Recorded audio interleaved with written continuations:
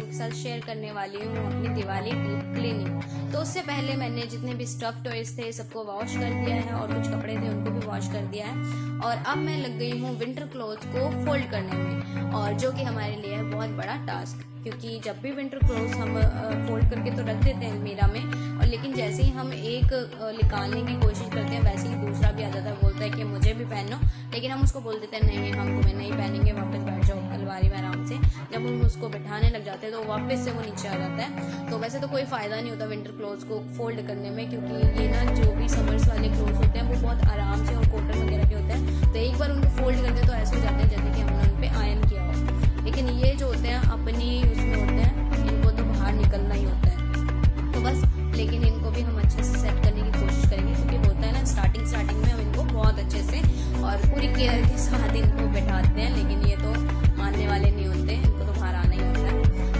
लगे हुए हैं, लेकिन हम पूरी कोशिश के साथ साथ ही साथ मैंने अपनी जो वॉशिंग मशीन है, वो भी मैंने साथ साथ लगाई हुई है कि जो भी गंदे कपड़े निकल रहे हैं, साथ साथ मैं वॉश करने जा रही हूँ, ताकि मेरे दिवाली पे ज़्यादा कपड़े ना हो और मुझे ऐसा ना लगे कि भाई दिवाली के बाद भी मुझे काम करना है। तो एक नॉर्मल सी लाइफ रहनी चाहिए हमेशा। तो ज़्यादा कपड़े होने नहीं दूँगी मैं बिल्कुल भी।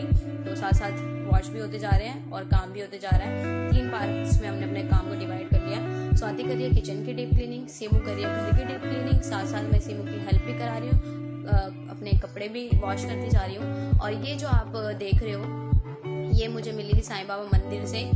आई एम वेरी लकी कि मुझे भी ये मिली प्रसाद में। बहुत ही कम लोगों को मिलती है। तो मुझे भी मिल गई, मैं भी बहुत लकी हो गई। तो ये जो आप देख रहे हो, ये बॉटल मैंने आप लोगों के साथ शेयर की थी जब मैंने अपना ड्रेसिंग टेबल थोड़ा सा डेकोर किया था तब। तो हमारे विंटर क्लोथ जो है, अच्छे से फोल्ड हो गए हैं और अलमीरा के अंदर बहुत अच्छे से सेट हो गए हैं। साइड वाले में रखी हुई है हमारी थोड़ी सी स्टेशनरी और ये इस रूम को ये मैं सोचना कैसे मैस फैला के रखते हैं। ये हमारा सबसे टाइनी रूम है तो इसको हम स्टोर रूम की तरह यूज़ करते हैं, जितना भी एक्स्ट्रा सामान होता है, वो उधर रख देते हैं, कूलर वगैरह सब कुछ उधर ही रखा हुआ है। और सीमू लगी है गणेश जी को, थोड़ा सा बाहर लेके गई है, हाथ पकड़ के देखते हैं, वो उसको अच्छे से वॉश करने वाली है। और साथ साथ मैं अपने जो भी कपड़े हैं, वो भी देखती जा रही हूँ साथ साथ सीमू की भी हेल्प करा रही हूँ। और सीमू लगी है थोड़ा सा वाइट वॉश करने में, क्योंकि यहाँ पर हमारा मंदिर रखा हुआ था तो उसकी वजह से, धूप की वजह से थोड़ा सा ना ब्लैक हो गया था। तो ये मैं जो हमारे मंदिर के नीचे एक कोट रखा हुआ था, इसको भी वॉश कर देती हूँ। और नीचे एक और रखी हुई है रग उसको भी वॉश करना है। तो ये सब काम साथ साथ होते जाएँगे तो ईजी हो जाएगा। ज़्यादा बर्डन नहीं होगा मुझ पर नेक्स्ट डे कि मुझे कपड़े जो है वॉश करने हैं। और उससे पहले सीमू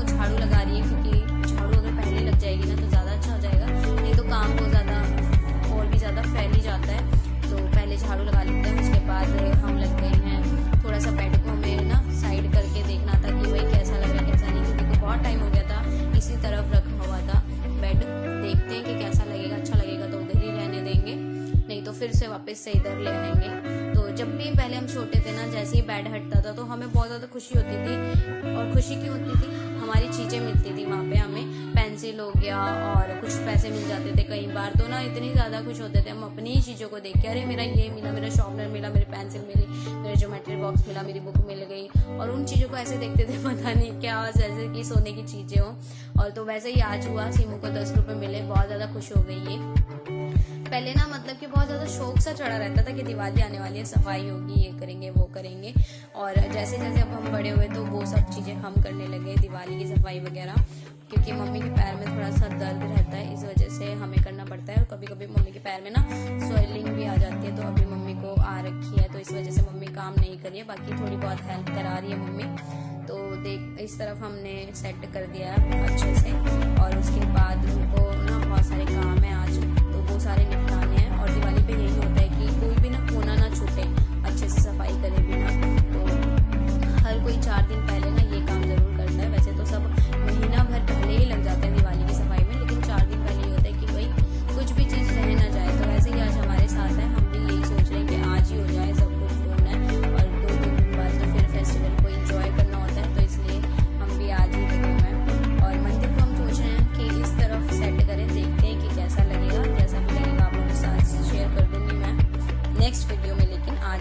सब कुछ ना एक साथ नहीं हो पाएगा। और ऊपर थोड़ा सा ये ना हमारा बॉक्स रखा हुआ था, इसके अंदर ना कर्टन वगैरह है। तो ना मम्मी ने दो तीन दिन पहले यूज़ किया था, इसलिए ये ओपन है। तो इसको भी हम रख देंगे बेड के अंदर, क्योंकि बेड के अंदर विंटर क्लोथ जब से निकाले हैं तो अच्छे से जगह बन गई है। इन सब चीज़ों को सेट कर देते हैं। और ऊपर से मुझे अलमीरा के थोड़ी सी डस्टिंग वगैरह करनी थी, क्योंकि यहाँ पर बहुत ज़्यादा डर्ट हो जाती है, क्योंकि ये बालकनी के पास है, ये वाला रूम इस वजह से। और साथ ही मैंने निकाल दिया दिवाली पे जो फूल वाली लड़ियाँ होती है ना, वो लगानी होती है तो निकाल के रख दिया और ऊपर से अच्छे से क्लीन करके और शीशे वगैरह रख दूँगी, जो भी काम ना आने वाली चीज़ और जो दिखे भी नहीं नीचे से कुछ ऐसे तरीके से। तो पहले फेस को कवर कर लेते हैं और उसके बाद फिर करते हैं अपना काम।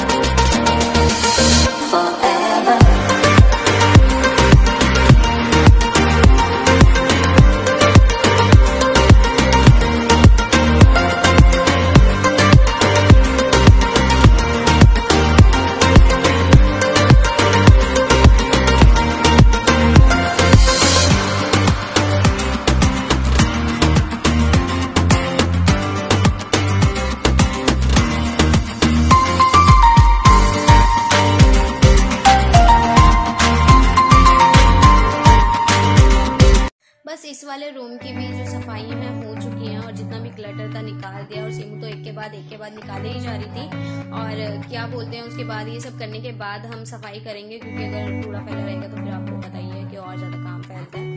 सिमू इस रैक को साफ़ करिए वैसे तो हम इसको डेली डेली क्लीन करते ही हैं, जब भी डस्टिंग करते हैं।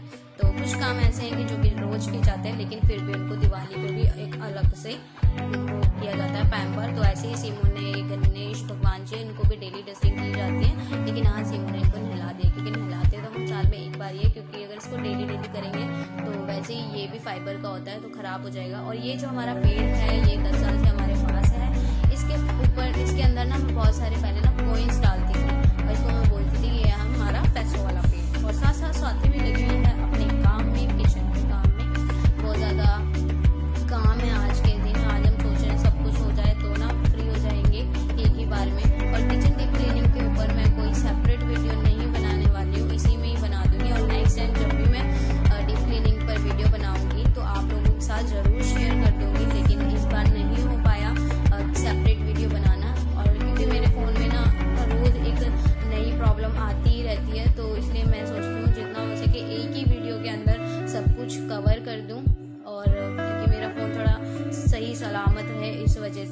और अभी भी ये कल ही मेरा फ़ोन जो है गिर गया था, वरना ये वीडियो आपके पास एक दिन पहले आ चुकी होती।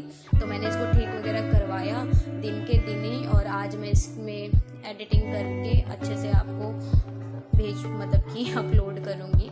तो स्वाति ने सारे जो डब्बे हैं अच्छे से वॉश कर दिए, उनके अंदर सामान है अभी भी। क्योंकि जब भी खाली होते हैं तो साथ साथ वॉश कर देते हैं तो ऐसा कुछ नहीं है, जब भी किचन क्लीनिंग करेंगे तो इनको खाली करें और फिर वॉश करें।